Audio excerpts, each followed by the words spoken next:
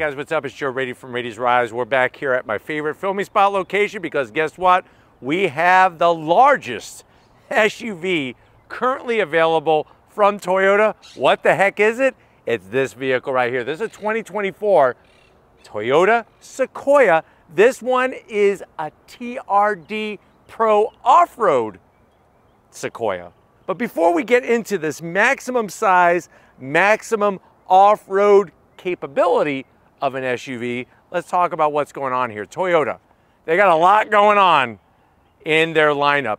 Things when it comes to redesigns, refreshes, and a lot of all new vehicles coming into their lineup. Now, when it comes to the Sequoia, we're talking box frame, body on frame.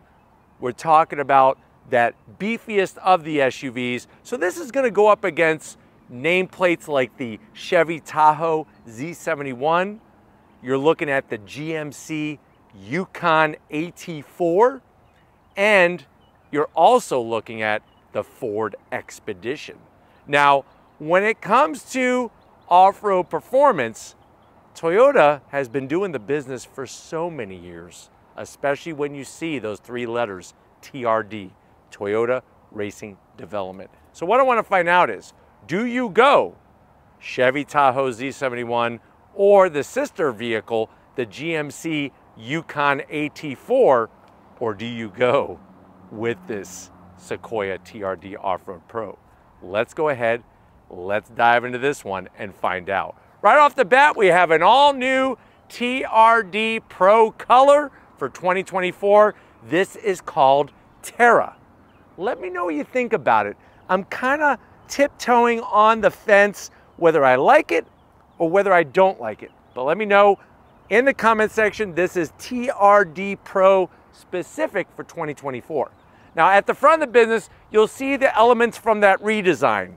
You'll have your LED headlights, projector beam headlights, LED turn signals, and daytime running lamps. We do have a little bit of functionality on these corner vents. And as we drop down, even more functionality on those lower air curtains, corner air curtains. I actually like the front end of the Sequoia a lot more than the vehicle that it shares the same chassis, that Tundra. Tundra looks good. I think the Sequoia looks better. As we come across that Heritage Grill nameplate, I like the way they added the triple auxiliary yellow LED lighting effect because of the extra width that we have at the front of the business. The Toyota name spelled out, that's part of that heritage in the gunmetal gray. And you'll notice from the factory, we actually have that rectangular large LED lighting effect built into the grill. So instead of you having to go to a company like Rigid and buying those lights, it already comes wired up, ready to rock and roll on the front of this TRD Pro. Of course, we're gonna have a forward-facing camera. My one zonk is we need a washer on the front of that thing. But this is full functionality up top. Working your way down, we have even more functionality and we have LED fog lamps on both sides. Now, underneath the belly of this beast, you do have metal TRD specific skid plates protecting the underside bits especially things like the oil pan and the gas tank out back. But let me know what you think about the front of this compared to a Yukon AT4 or a Tahoe Z71. And you'll see that lighting. I mean, it's pretty intense in the center here. That's pretty crazy. Now, as we rise up, what do we got going on? You have a bulge, and I like the way it's a V shape rather than just straight lines but definitely loving the muscular presence of the Sequoia. When we come around the bend, what do we have going on? Well, guess what? You're gonna get some TRD Pro specifics. We have BBS forged aluminum wheels, off-road forged aluminum wheels. We also have our Falken Wild Peak all-terrain tires with the shielding all the way around. It's a 33 inch tire and the overall tire size is 265 on the width and a 65 series sidewall, 18 inch wheel. Love the wheels. You do have that Camo Tech, they call this, design on your fender flares. And then I'm gonna have Steven earn his money today and show you those upper aluminum TRD control arms. That bright red finish there with the TRD name. This actually sits higher, of course, than a standard Sequoia. And the shocks and the suspension bits have to, been tuned specifically for off-roading in this vehicle. Now, I do like the way they do the name badge on the hood, the TRD Pro. I just wish that this was a functional heat extractor. We'll talk about what's underneath that hood in a second. Flat black on your mirror caps on the top. Your turn signals, we do have 360 degree cameras. And I do think it's very smart the way they put the flat black on the A-pillar. You have that nice, really, you know, off-road spec flat roof with our roof rails. You can get the crossbars, put a basket up there. You have our stationary TRD spec running boards. And I like the way they're powder coated to give you maximum grip getting in and out. And those are removable. And then working towards the rear, you have your door handles, which are color matched and a little bit of gloss black. Like the way they did the flat black with the gloss, just the, just the touches. And then you'll notice that when we come towards the rear, check out what we have. Our dual outlet TRD, actually says it right there on the side, TRD black tip, polished black tip exhaust, catback exhaust to give us some extra sound, some extra performance. Love the way they did the full LED lighting, no light bulbs, no old school light bulbs. And then all the badging is blacked out. Your Toyota badge, of course, the Sequoia name, they spell it out for you. And then working our way down to the main level, this cover comes off so you could do your towing. But I really love that dual outlet exhaust, nice round cut, looks good. And then as we rise back up, you do have the ability to just pop the rear glass. Say you forget something, you could get in and out very easily. I just wish the wiper was tucked underneath that long roof spoiler. That is the zonk back here. But other than that, looks spectacular. But why don't we go ahead, let's pop the hood and talk about horsepower compared to the competition. All right, guys, we got the hood popped. You do have hood struts. Underneath the hood is that performance hybrid spec setup, the iForce Max. That is a 3.5 liter twin turbo V6 pumping out 437 horsepower, 583 pound feet of torque. That's more horsepower and more torque than the Tahoe or the Yukon AT4X with their V8 engines. It's mated to a 10-speed automatic transmission, 0 to 60 in about 6.2 seconds. Top speed is governed to 109 miles per hour. MPGs 19 in the city, 22 on the highway. The vehicle weighs 6,209 pounds, but can tow up to 9,000 pounds. So nice to see that you don't necessarily have to have that V8. You could go with something like this iForce Max, get more horsepower, more torque, and still have 9,000 pounds towing capability. But why don't we go ahead, let's fire this thing up and hear what that catback exhaust sounds like.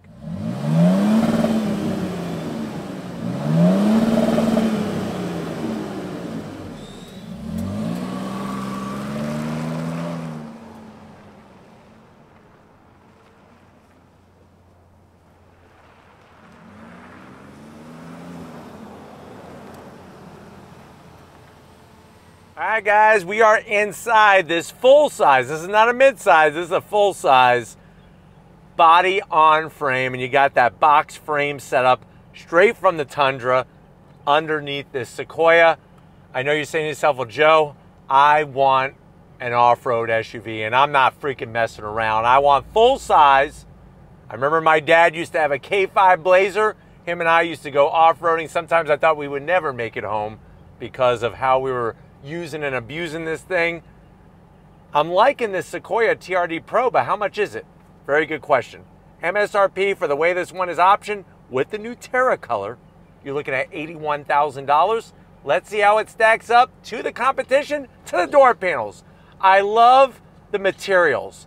The top of the door panel, the way that it's flat to rest your arm, soft touch with the red contrast stitching. You got a little bit of gunmetal metallic in the center there. Right underneath that is the TRD Twinkie tray. And then down below, you have enough room for a six inch cold cut combo and two bottles of Mountain Dew to wash it down. Now going from the door panel to the dash, you got the Toyota Heritage badge. I love this silver trim, soft touch. And then come on in, what do we have? 14 inch infotainment system. This is Toyota's new multimedia system that we've already shown you in many other vehicles. You could set up, of course, all the data that you need. You could set up driver profiles.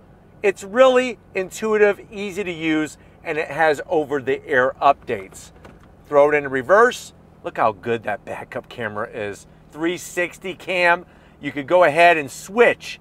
It's almost like working at Circuit City back in the day and showing everybody all the cool Sony Handycams and JVC camcorders. I mean, this thing has more views than some satellites that are currently in space. You could even do the off-road setup to where you got your pitch and your roll. Really, really nice, intuitive, and easy to use. I like that. We're right back where we started. You have a real power and volume knob. We have three stages of ventilated seats, three stages of heated seats, dual climate control with these nice toggle switches, USB A. You have a TRD off-road start stop button, trailer control, your 360 degree camera. You can lock the rear axle, wireless cell phone charging, and a place to put two Three Musketeers. Love this off-road aluminum style finish. Open it up, two cup holders. You got your mode selector knob, your uh, crawl control, tow haul, and your ability to switch from two high to four high to four low with your 4x4 system. Here's your Toyota key fob. I wish it was a little beefier. If these key fobs from Toyota feel like they're from 1992, where you would go buy like the Cobra alarm and it would make all those video game noises when it went off. So not my favorite. You do have a nice little tray there where you can keep your koosh ball. Slide that open, now you have easy access. I'm all about easy access. Flip it up, you can put some Aladdin's arcade game tokens in there. Close it up, soft touch material, stitching, and get ready for this.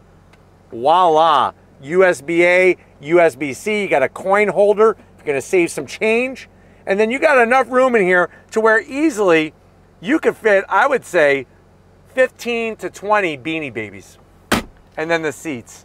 The nice soft touch material, the TRD Pro embroidery, the red stitching, nice bolstering, full electric assist for the passenger, full electric assist for the driver, and then we have this ginormous, you ready for it? Power shade for our full panoramic sunroof. Got you covered there so you can get your vitamin D and maybe a little sun in your, your face just to give you a little bit of extra color. And then of course we have our digital rear view mirror. So they have, like I said, the tech and the cameras in this thing are ridiculous. But why don't you come over to the business end? I got a TRD steering wheel I want to show you. Come on over. All right, guys, business time behind the wheel of this TRD Pro Sequoia. You do have two, actually I'm holding up three, two memory seat settings, duh, two. Down below, you do have an aluminum brake pedal, aluminum throttle, and I love the nice large dead pedal to brace yourself. It's worth an extra five horsepower for the Sequoia TRD Pro off-road mat, mats. You do have those seat controls just like on the passenger side, easy to get to.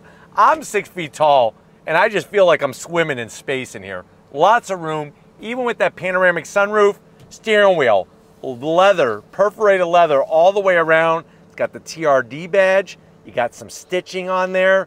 I just wish the Toyota badge was black to match all the other black accents but I do like the flat black on the switch gear. Down below, you have this nice little arrangement of buttons, your TRD light bar, heated steering wheel, all those other goodies. It is a manual tilting and telescoping steering wheel. And then the dash, 12.3 inches display. Love the clear graphics. And then of course you could go into your different modes, just like a video game, and really configure it exactly the way that you want. And on top of that, of course you have your full 4x4, which the two-speed transfer case on this thing is so beefy. I can't wait to go off-road. But why don't we go ahead? This thing has three rows. Let's get in the mid row first and see what the backseat passengers are gonna experience in the Sequoia. All right guys, mid row time and you're gonna spoil the hell out of your passengers here in the mid row. There's a ton of room. The seats are ginormous in a very good way. Same material as off up front, the Softex. You can see the Camo Tech design coming through with the red stitching. The major zonk is this. These ratcheting, skinny, pointless armrests. They're, they need to be a little beefier like the American brands, like the Tahoe and the Yukon. But other than that, you have these nice large pockets, easily put, I would say, two full packages of Chips Ahoy cookies. And if you have Chips Ahoy, what you gotta have next are a couple places for some bottles of milk so you could dunk them. And right here in this command center, you do have your AC vents, AC controls, easy to get to, easy to figure out. More connectivity than Radio Shack ever had. USB-A, USB-C, and a home power source. And I like the little covers. Sitting here feels great. I'm six feet tall. I got plenty of room. AC vents also in the ceiling. You do have the sunshades, the big zonk. These seats don't slide. The good news is you are going to get a little bit of recline, but if you're looking for sliding seats, you're looking in the wrong SUV. But why don't we go ahead, let's get in the third row and see what kind of room is back there for the people that are gonna draw the short straw and have to sit back there. All right, guys, third row time, and this is where the Sequoia just comes up short. Compared to the other two that we're talking about, the Yukon and the Tahoe, look at how high my knees are. These seats are not very comfortable. They're totally flat, and the material is not as nice as the rest of the vehicle. You do get red stitching though, so I guess that's a good point. Nice armrest area, but you hear that? It's as hard as a plastic rock. Here is the saving grace. Are you ready for it? And it's not much, but it's better than nothing. You do have a little bit of a recline, but my knees are not reclining anywhere. I do have a USB-C, but I only have one on this side that's easy to get to with a little Twinkie tray. You do have a USB-C. Show them, Steven. You do have a USB-C right there for the other passengers. So that's really nice. But thank God we have these electric tilting seats because this would be super painful. But why don't we go ahead, let's check out the cargo area because I'm ready to go get this Sequoia dirty and go off-roading. So let's get back to the cargo area and see what we could all. All right, guys, we got the rear lift back open. It's an interesting concept how they give you room back here. Now with that third row up, it's gonna be very minimalistic on the amount of room that you have. You're looking at 12.3 cubic feet of space. Not a lot, especially compared to the competition. One of the cool things is that you actually have this movable level floor here. So you could actually set things up and raise this all the way up to its highest level, which would be right there, or you could bring it back down. So nice to give you that flexibility. Another thing I like is how the third row slides. So if you need just a little bit more room, you can slide the third row up, both sides of course. So they're giving you some unique touches, but because of the complicated nature of it, it does take up some of that great room. Now to put the third row down, it's very simple. First we gotta put the headrest down. Now we're just gonna hit the buttons. So we're just gonna hit the buttons, nice one, one touch operation, folding that third row down. The challenge is they won't go totally flat. And what I mean by that is that yes, they're flat, but not flat all the way down. So now when you're looking at this, you're looking at 49 cubic feet of space. The good news is you could do this. So if I go like that, now you almost have a totally flat area here. And this obviously, let me get rid of this. We could do this. Now you have that flat area. Some people love this. I know some people like Joel Feder, uh, this makes them sick. This makes their stomach hurt. They're offended by this system at the end of the day. Of course, what's also nice is that you are going to have a home power source. And you do have, like I showed you, the power switch gear. And you do have the power switch gear back here to tilt the rear seats. You got your Twinkie storage like I was telling you about. There's your USB-C on the third row, which is nice. And you got AC vents back there. If you fold down the mid row, that's gonna give you about 80 cubic feet of space. But why don't we go ahead, I know a little Raiti's Rides off-road area I wanna take you. If you're ready, I'm ready. Let's go get this uh, Sequoia TRD Pro a little dirty. All right, guys, we are here at the Raiti's Rides off-road course. And what better place to take this 2024 Toyota Sequoia TRD Pro to get her down and dirty, very dirty. Now, let me show you how easy it is to get off-roading very quickly. So we're gonna go over to the 4x4 selector switch. I'm gonna go ahead and push down and put it into 4H. That's gonna illuminate a green 4H on the dash. And then I'm gonna hit the toggle switch to lock that rear diff. Now, the one thing that kind of bums me out that I think is a zonk that when it comes to the drive modes, you don't have any kind of off-road modes. So just something to be aware of. But the good news is, is that we do have, of course, our hill descent control and all the other Toyota tech that comes with that. But why don't we go ahead and take this for a little off-road spin and just see how easy it is to manage the size of this vehicle. I think one of the things you're gonna find is that even though this is a full-size SUV, that it really is a piece of cake to navigate with. And that is what is really awesome about the Sequoia, is that she feels very light on her feet, and I like that. It actually feels more nimble than a Tahoe Z71 or a Yukon AT4. Now, I think some of that has to do with overall size and dimensions, but I think other things that have to do with that is that we don't have a V8, a heavy V8 hanging off the nose of this SUV. We have the iForce Max that, like I said, has more power and torque than the V8s in the competition. But as you can see, in this deep sugar sand, makes easy work of it. And I like the way that steering control, I'm not white knuckling it, I'm not freaking out. It just feels really good on where to place this vehicle. And I, I'm not worried. I think that's the biggest part is I'm not worried, especially with having the TRD off-road skid plates underneath to protect everything. Now I'm gonna go ahead and hit the other toggle switch for our camera view. And this is gonna help us. And obviously we have it out the front, we have 360. This is gonna help us navigate so that we could see exactly what is in front of us. Okay guys, before we go any further, I wanted to just show you some more of the camera views. I like the off-road camera setup, so we're gonna go ahead and activate that.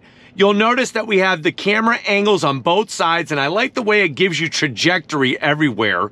And the resolution is so clear, I could see mosquitoes freaking flying around the camera. Another thing that's really great is that, of course, you're gonna have your pitch and your roll displayed for you while we're driving. So really nice to see exactly what is happening underneath when it comes to the ground surface. Now you do have to be a little careful when going into sippy holes because of that lower bumper area.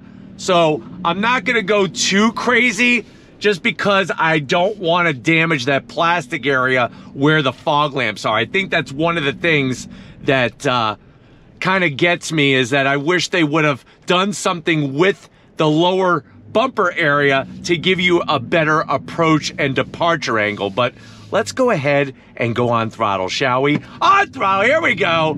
10 speed drops down and we're off. Remember, we have all of that TRD suspension componentry with the shock absorbers, with, of course, the upper control arms, and just love the way that this thing handles this off-road course that we have for you here. Really easy to navigate Yeah! Ride Ride 'em, cowboy. But as you can see, I mean, just really allows you to feel good behind the wheel. Whoa, yeah! Kicking up the sand. And I'm telling you, this sugar sand can really catch you out and get you buried up to the axles if you're not careful with what you're doing, that's for sure. But just really, there we go. Really, really nice to be able to take you out here and really put this TRD Pro, you know, this vehicle, $81,000, has a beefy price tag, but I think, as you can see, when it comes to what you're getting suspension-wise, and of course that iForce Max setup just feels really good out here. It really does. On throttle, here we go. Nice. Look at this. And like I said, placing this thing is just so easy. So easy. Great visibility out the front. Look at this. Love this trail. Gonna take it easy through the sippy hole. Like I said, there we go. Get her dirty. We're getting her dirty. She loves it too. The whoop section here. Look at this. Nice. Easy uh, pedal modulation, throttle modulation, brakes feel good. Just all the way around. Really well set up. I think another thing that I'm really loving is just all the elevated materials in here. Um, getting to the massive infotainment system is well within reach. Um, and then you have all the tech, the heated seats, the ventilated seats, the sippy hole time. Here we go. Nice. Nice, nice. Back on our little trail here. yes. I tell you, it's so easy to work the wheel in this thing. Into the sand pit. There we go. And like I said, this sugar sand can really, really, really catch people out.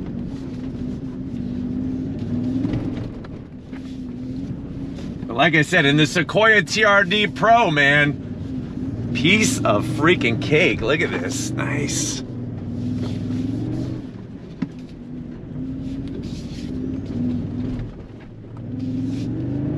Yeehaw!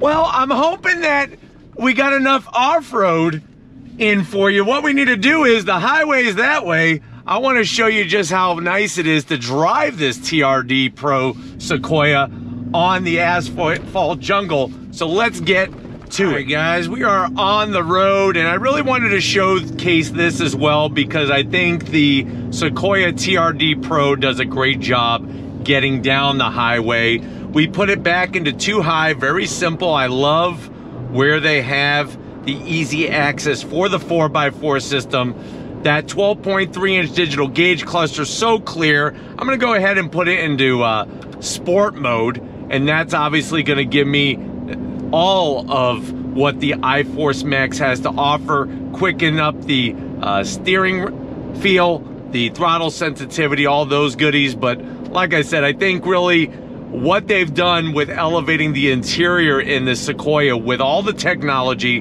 the great Toyota multimedia software, the large 14 inch screen, ventilated and heated seats, uh, yeah, it's lacking when it comes to space compared to other full-size SUVs, but I think that uh, if you really, really want something that does the business, both off-road and on-road, for me, it's not like I'm going to be going to Home Depot and getting sheets of plywood all the time. I think I'll figure out a way to make it happen if I can't make it happen in my Sequoia TRD Pro. But the thing that I like is driving this vehicle on your day-to-day -day routes is going to be comfortable. The way that you have the dimensions to make the off-road driving easy, it makes on-road driving very easy as well. So that's another thing to think about when uh, when looking at the Sequoia TRD Pro. And I, I like the sound. It's got some pumped in sound, but you know what? Not obnoxious at all. And then remember, we do have that TRD catback exhaust that's making some real tunes on the exterior of this vehicle. But I'm hoping that this has been the review that you wanted for this new color, Terra on the Sequoia TRD Pro. We're gonna get back to where it all started and wrap this one up. So I'll see you in a split second. All right, guys, it's been another fun kind of day here on Raiti's Rides with this 2024 Sequoia TRD Pro. Let me know what you think. Are you going with this Sequoia or are you gonna go Tahoe or Yukon? Let me know down in the comment section. But of course, we need to thank everybody at Toyota USA for allowing us access to this press fleet vehicle. If you're new to the channel or you're on your way out, hit that subscribe button. I promise you it's worthwhile. Come back for more. If you are a subscriber, thank you for being part of the Raiti's Rides family. Of course, we need to give it up, Steven Flood, Steven Flood Photography.